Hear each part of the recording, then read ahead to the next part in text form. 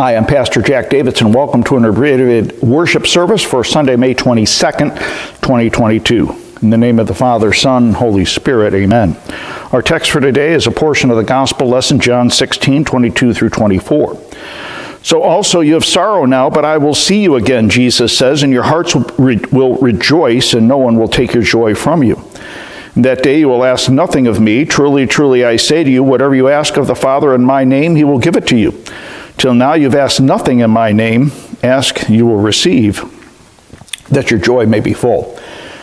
This is the word of the Lord. Thanks be to God. In the name of Jesus, dear friends. Chase Gibson was in sixth grade when Vicki Karolewics, president of Wallace State Community College in Alabama, came to speak to his class about the importance of going to college. During her talk, she asked how many students plan to graduate from high school and attend college, and hardly any hand went up. Vicki tried to coax them into at least thinking about finishing high school and going to college, but no one was willing even to consider it. So the president of Wallace State Community College made them an offer. Chase Gibson was all ears. Then, six years later, Chase showed up at the college one day to see Vicki, who was still president and still is president of Wallace State. Summoning the, all the courage that he could muster, Chase went up to the president and asked, Ma'am, you spoke to my sixth grade class a few years ago, didn't you? She said, Well, yes, I did. Chase went on and said, When you spoke to my class, you remember what you said that day? Vicki smiled and said, "Yeah, I, I remember what I said that day, but do you remember what I said that day? Chase looked her in the eyes and said, You told us that if we would remind you that you promised a scholarship to go to college, that you would give us one. The president never flinched. Said, Well, yes, I did make that promise. Thank you for remembering that. Chase went on and asked, Is it going to be a full ride? And the president of Wallace State said, Absolutely. Yes, it is. Well, that year, Chase received the presidential scholarship to Wallace State Community College. Not because he earned it or deserved it, it's because he received it because it was offered and he asked for it. That first Holy Week, when Jesus met with his disciples, Jesus told them, A little while and you'll see me no longer. And again, a little while and you'll see me. The disciples had all sorts of questions. When they discussed this among themselves, they were getting no answers. Jesus, though, knowing what they were talking about and knowing that they wanted to ask him a question for an answer, tried to prepare them for the day that was coming the day when he was going to go to the cross and die, and then three days later rise again. That's why Jesus said, So you'll have sorrow now, but I will see you again, and your hearts will rejoice, and no one will take your joy from you. The disciples were saddened at the news, at the prospect of Jesus dying. Their hearts and lives were filled with sorrow, for they thought if Jesus died, all is lost. There's no hope, for if Jesus only died, then uh, what would they do with their lives? How would this death affect them? How could they go on living? Jesus only dies, and sin and death and Satan wins because then death defeated Jesus, just like death tries to defeat every human being. If death wins, there's no hope. When there's no hope, there's no joy.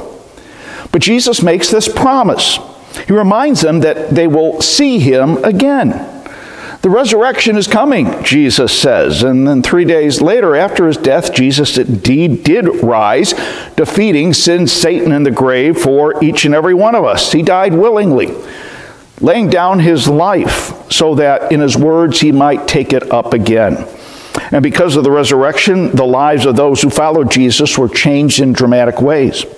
On Pentecost, the Holy Spirit fell on the apostles and other believers and the Holy Spirit continues to lead the church and fall on people that they might believe in Jesus and live out their lives to the glory of God, believing in Jesus by the power of the Holy Spirit.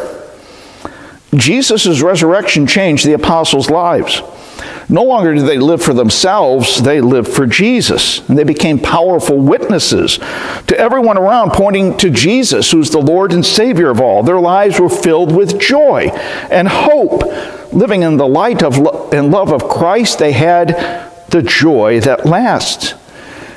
Jesus' resurrection turns all of our sorrows in, into joy that lasts. Granted, we're not the apostles. Times we're living in today are drastically different than they were over 2,000 years ago.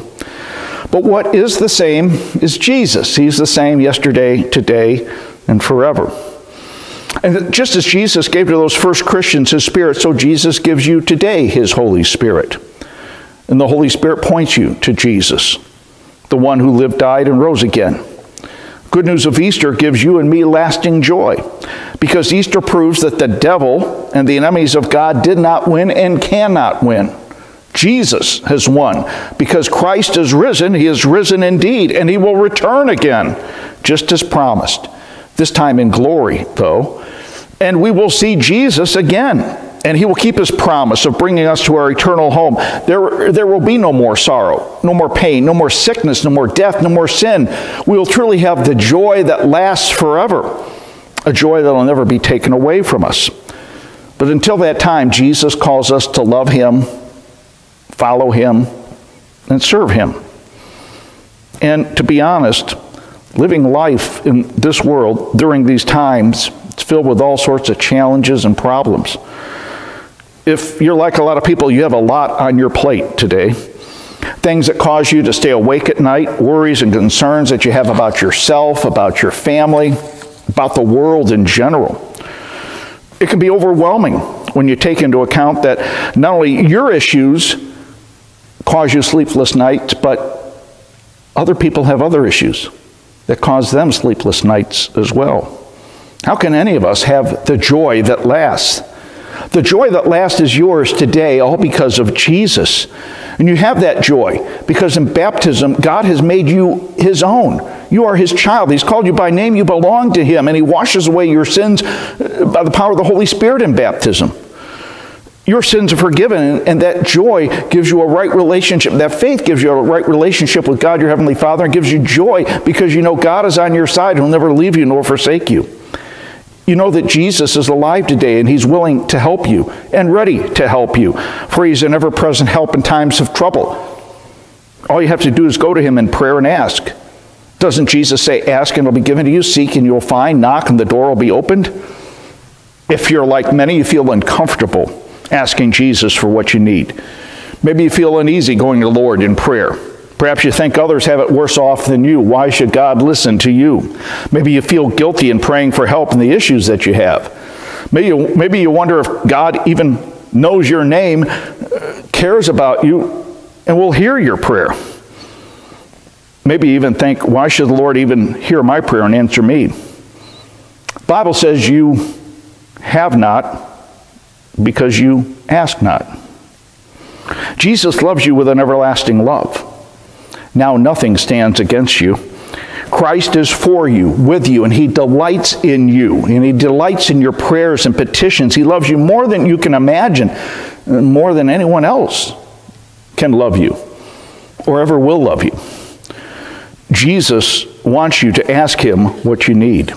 That's why Jesus says, Call upon me in the day of trouble I will deliver you and you will glorify me. Jesus stands ready and willing to not only hear your prayer, but answer your prayer according to his will for your good and to his glory. So bring your puzzled look, your knotty problems, your unusual requests to him. Go to him in prayer and let Jesus figure it all out. Pray, pray, and pray even more. Pray without ceasing. For when you go to Him in prayer, trusting in Him not only to answer prayer, but do it in a way that is good for you and to give glory to God, then Jesus will give you the peace of mind that surpasses all understanding and gives you then the joy that lasts forever. To the glory of God in Jesus' name. Amen. Now may the peace of God and the joy of Christ be with yours, you and yours, now and forever. Amen. Let's pray together the Lord's Prayer. Our Father, who art in heaven, hallowed be thy name. Thy kingdom come, thy will be done on earth as it is in heaven. Give us this day our daily bread. Forgive us our trespasses, as we forgive those who trespass against us. Lead us not into temptation, but deliver us from evil. For thine is the kingdom, the power, and the glory, forever and ever. Amen. Now receive the blessing of the Lord our God, the grace of our Lord Jesus Christ, love of God, our Heavenly Father, fellowship of the Holy Spirit be and abide with you now and always. Amen. Thank you for watching this service, a sermon coming to you from Redeemer Lutheran Church for May 22nd, 2022. If you have no church home, we invite you to make Redeemer your church home. We'd love to have you as a part of our family. We worship every Sunday at 10:15, where a different message will be proclaimed. If you'd like to support this ministry with your tithes and offerings, please do so by sending your checks and tithes and gifts to Redeemer Lutheran Church, 1400 Concordia Drive, Lancaster, Ohio 43130. May the Lord bless you and keep you.